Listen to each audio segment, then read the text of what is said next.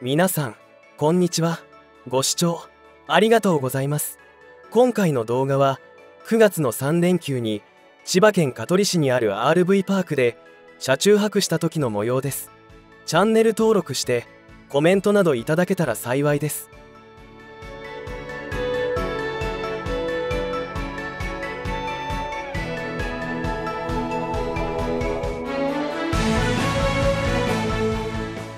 今回行く香取市へは以前にも訪れたことがあり佐原などその際に行っているので今回は成田方面へ行き成田空港を離発着する飛行機を眺めてみようかと思っています。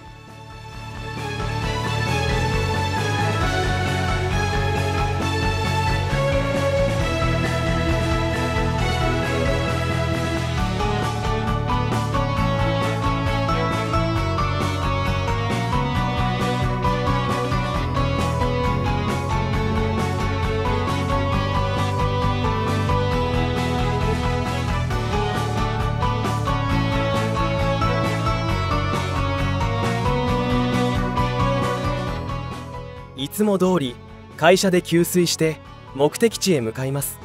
新横浜インターチェンジから首都高に乗り生麦ジャンクション大黒ジャンクションを経由して湾岸線から東関東自動車道へと乗り継ぎ成田の少し先にある大英インターチェンジへと向かいます。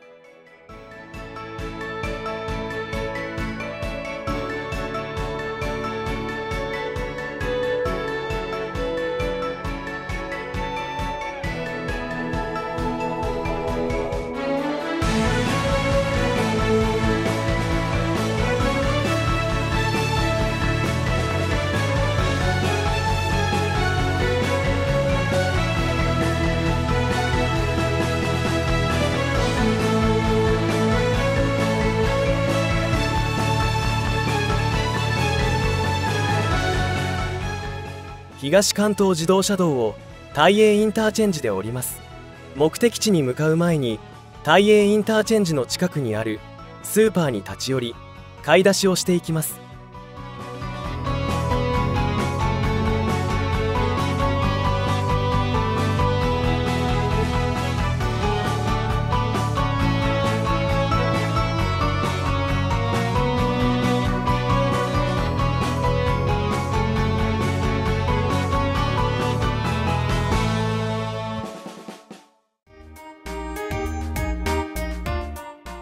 ーパーウイで今回の車中泊の食材などを調達しました。思っていたよりスムーズにここまで来たので明日行くつもりでいた東宝神社へ行ってみることにしました。東宝神社は千葉県成田市東宝にある神社です。成田国際空港 B 滑走路南端 34R 付近に位置しています。現在でも空港反対運動の活発な地域であり神社の敷地も B 滑走路の建設予定地だった箇所ですが紛争などもあり未買周知を避けるようにして B 滑走路を北側へ伸ばしているそうです。東宝神社へ到着です。B 滑走路の南端に位置するここでは北風の場合着陸南風の場合離陸の飛行機が神社の上空を横切ります。特に着陸する飛行機は手が届くのではないかというくらい神社のスレスレを飛行機が飛んでいきますが残念ながら南風で静かな神社でした。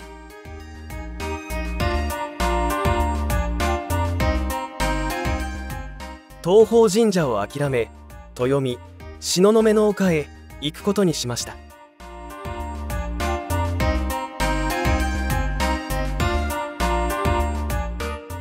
豊見東雲の丘は国道51号線を挟んで滑走路を望める場所です。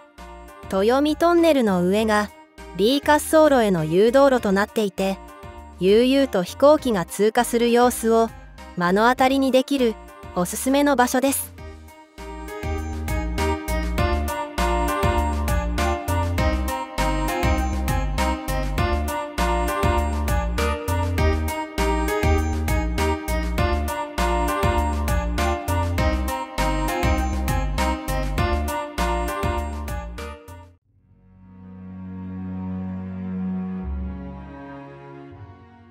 東雲の丘に到着して B 滑走路北側から着陸する飛行機を眺めることができました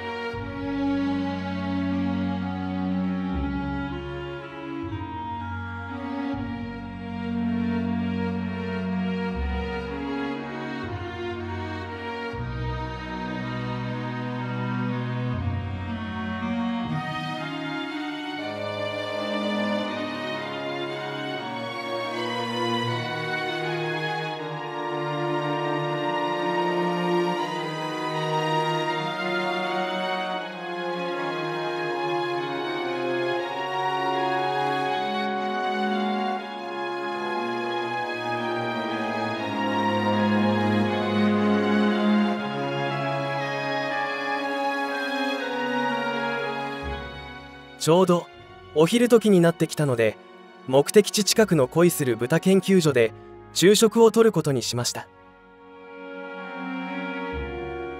恋する豚研究所は生産農家が経営し豚肉を使った定食や甘味を提供する木のぬくもりあるナチュラルなレストランです。豚肉やハムの販売店も併設しています。恋する豚とは豚に恋するということではなく豚が恋するというイメージなんだそうです。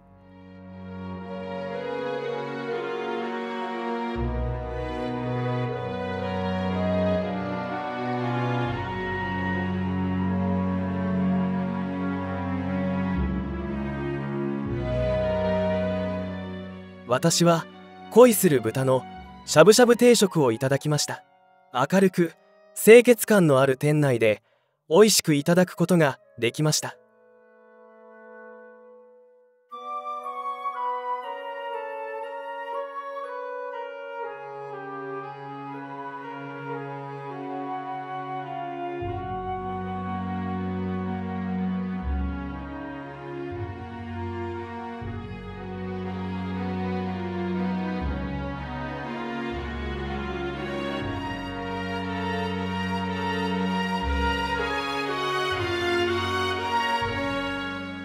美味しい昼食を食べて恋する豚研究所を後にしすぐのところにある道の駅栗本紅小町の里に立ち寄りました。千葉県香取市沢にある道の駅栗本紅小町の里は豊かな自然と旬の味覚が盛りだくさんな道の駅です。館内には農産物直売所や土地の食材で作った料理が味わえる味どころ一服などがあります。道の駅でのんびりして今回の目的地である RV パークへ向かます。天然温泉リゾート美人の湯カーニバルヒルズが運営する RV パークです。RV パークスマート天然温泉美人の湯カーニバルヒルズは温泉エステグルメなどが一体となったカジュアルなリゾートカーニバルヒルズにあります。療養泉に認定された美人の湯は黒色を帯びた天然温泉です。ドッグスパミニドッグランもあるので愛犬と一緒に過ごすことができます。また店内のショップでは地域特産品や自慢の天然温泉水なども販売されています。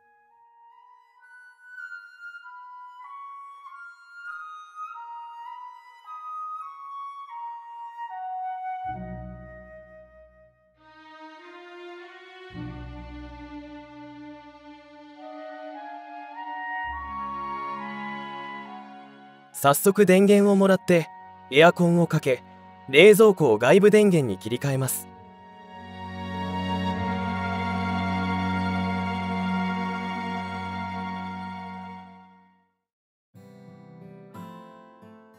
今回は RV パークでの車中泊ということでオーニングを出して日よけ幕をセットしテーブルと椅子を展開テレビサーキュレーター製氷機を設置して簡単に設営も完了です。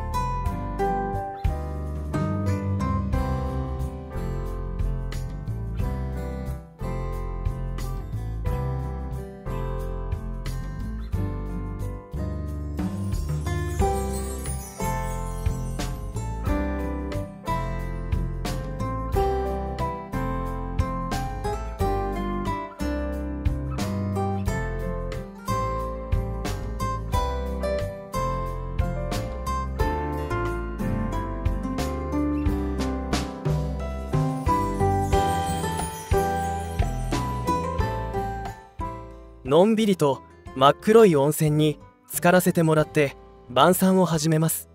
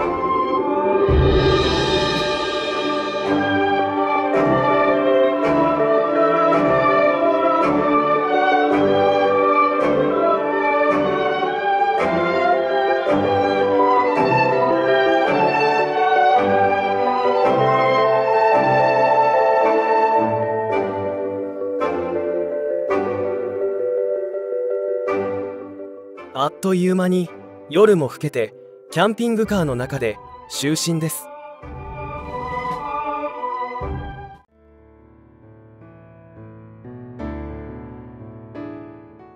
2日目の朝を迎えました。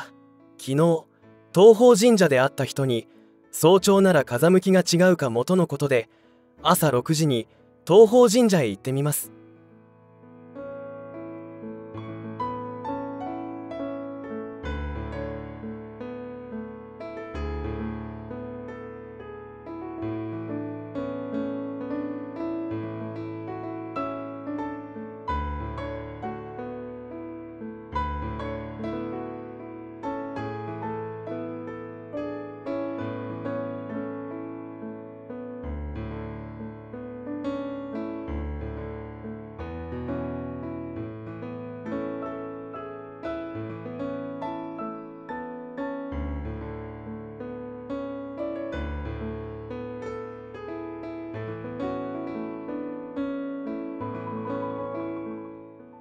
結局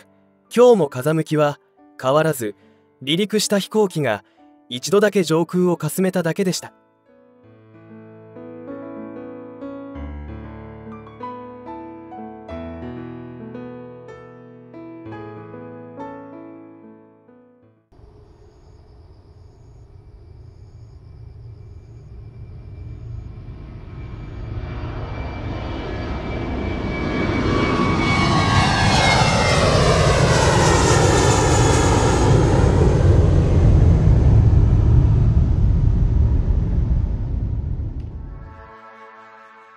東方神社を後にして成田市桜の山へ移動します。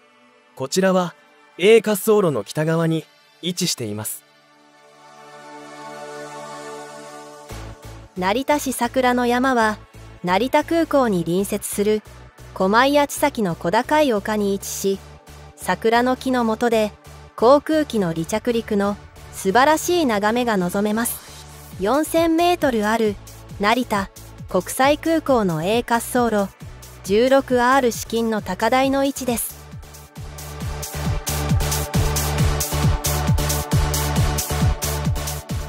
成田市桜の山に到着です。桜の山空の駅桜館の駐車場へキャンピングカーを止めます。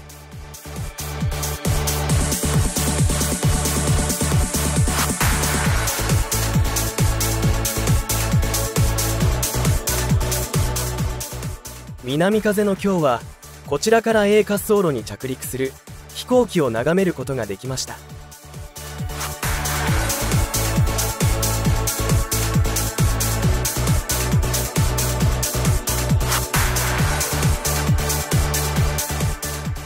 成田市桜の山を後にして4000メートルの滑走路のほぼ反対側に位置する三里塚桜の丘に移動します。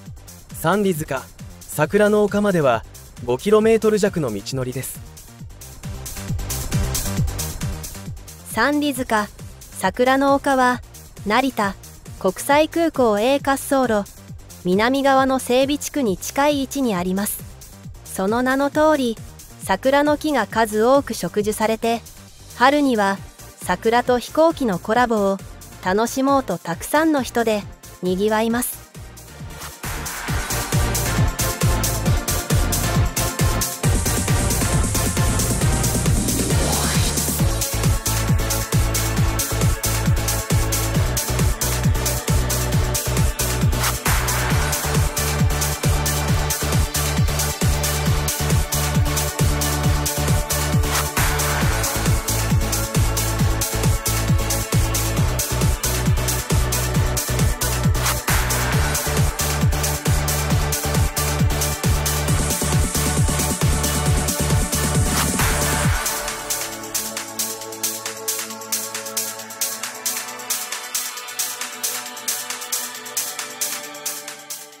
三里塚桜の丘を後にし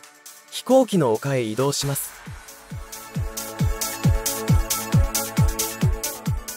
飛行機の丘は A 滑走路からの距離が約600メートルの場所に位置しており上空を世界各国の航空機が飛び交う景色を一望できる絶好のロケーションです。着陸時には迫り来る航空機の大きさとその大迫力が体感でき離陸時には臨場感あふれる航空機のエンジン音を肌で感じる新たな観光撮影スポットです。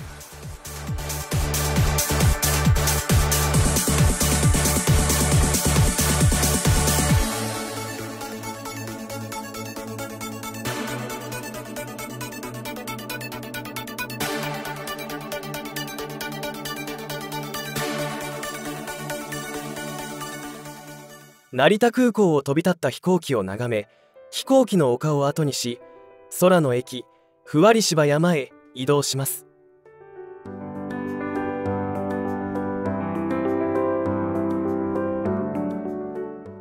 空の駅ふわり芝山は芝山町朝倉の国道296号線沿いにある施設です。地元の新鮮な農産物や生産鮮商産品花や惣菜生鮮食料品土産物などを取り扱い生産者の顔が見える販売を行っています。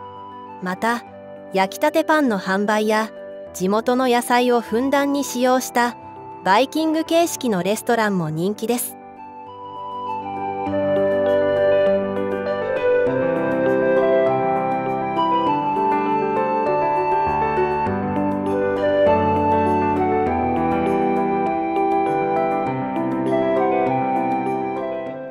朝からたっぷりと飛行機を眺めたところで昼食は以前にも一度訪れたことがある卵屋さんコッコへ行くことにしました。卵かけご飯の食べ放題があるお店です。成田空港からしばらく走った多古町の国道296号線沿いにあり道路際の飼料サイロが目印です。コッコでは農場直売の産みたて卵をご提供するのはもちろん卵かけご飯もいただけます。また卵をふんだんに使ったプリン厚焼き卵旬の採れたて地元野菜なども取り揃えています。1年ほど前に訪れた時と変わらず卵かけご飯のセットが400円卵かけご飯の食べ放題が500円です。で迷うことなく食べ放題にしました。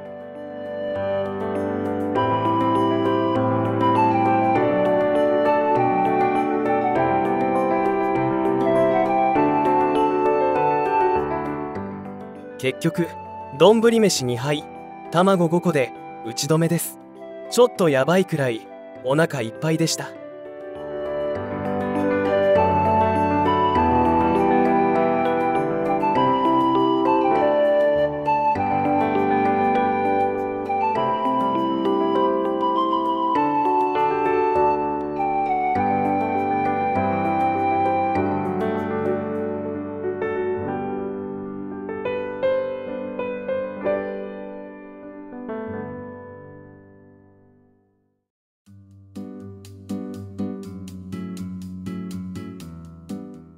とりあえず予定していたところを一通り回り終えたので RV パークに戻ってのんびり過ごします。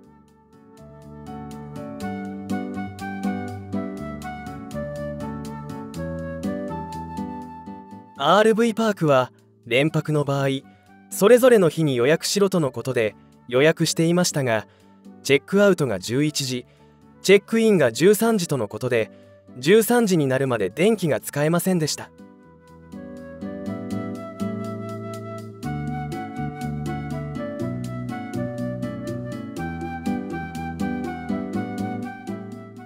今日もお風呂に入らせてもらって早々に晩餐を始めます。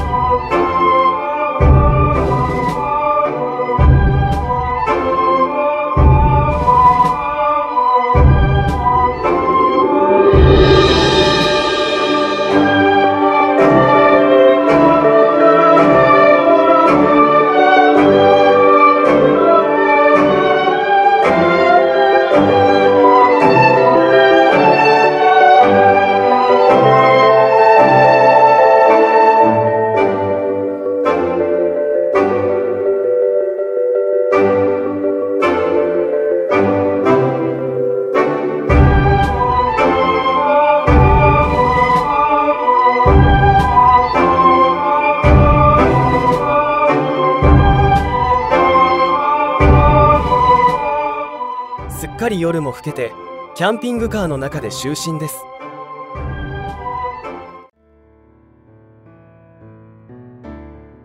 3日目の朝を迎えました。お天気も良くまた暑い一日になりそうです。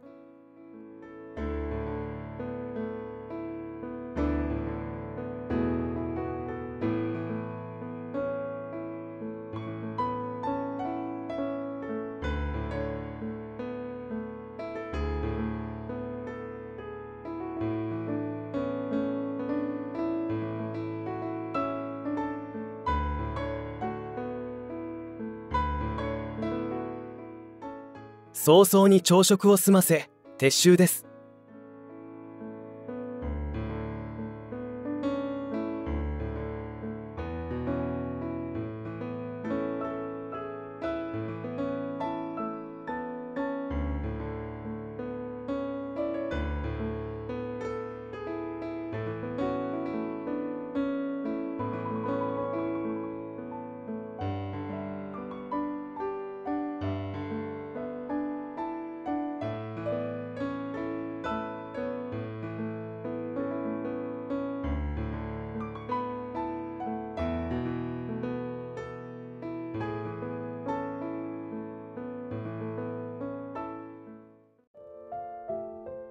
何もなかったかのように撤収して帰路に着きました。